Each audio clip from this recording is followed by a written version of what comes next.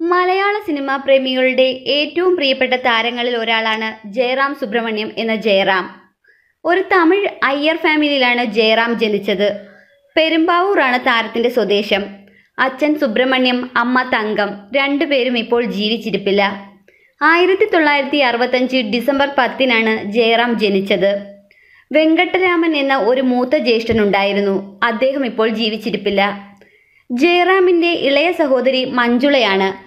Mimicry രംഗത്ത് നിന്നാണ് ഈ നടൻ സിനിമയിലേക്ക് എത്തിയത്. ആയിരത്തി തൊള്ളായിരത്തി തൊണ്ണൂറ്റി രണ്ട് സെപ്റ്റംബർ ഏഴിനാണ് മലയാളികളുടെ പ്രിയ നായിക പാർവതി വിവാഹം ചെയ്തത്. ഈ താരദമ്പതികളുടെ മക്കളായ കാളിദാസും മാളവികയും മലയാളികൾക്ക് ഏറെ പ്രിയപ്പെട്ടവരാണ്. സത്യൻ അന്തിക്കാടിന്റെ കൊച്ചു കൊച്ചു സന്തോഷങ്ങൾ എന്ന സിനിമയിലൂടെ ബാലതാരമായി അഭിനയരംഗത്തെത്തിയ കാളിദാസ് ഇപ്പോൾ മലയാള സിനിമയിലെ ഉയർന്നു വരുന്ന നായകന്മാരിൽ ഒരാളാണ്. മകൾ മാളവിക ഇപ്പോൾ ഒരു പരസ്യ ചിത്രത്തിൽ അഭിനയിച്ചു കഴിഞ്ഞു. മലയാളത്തിൽ മാത്രമല്ല തമിഴ് തെലുങ്കു സിനിമാ മേഖലയിലും ജയറാം തന്റെതായ ഒരു സ്ഥാനം ഉറപ്പിച്ച താരമാണ്.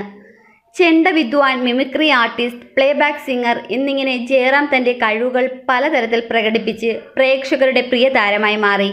ഇരുന്നൂറിലേറെ സിനിമകളിൽ അഭിനയിച്ച ഈ കലാകാരന് പത്മശ്രീ പുരസ്കാരവും രണ്ട് കേരള സ്റ്റേറ്റ് അവാർഡും രണ്ട് തമിഴ്നാട് സ്റ്റേറ്റ് അവാർഡും ഏകദേശം നാലോളം സൗത്ത് ഇന്ത്യൻ ഫിലിം ഫെയർ അവാർഡും ലഭിച്ചിട്ടുണ്ട്.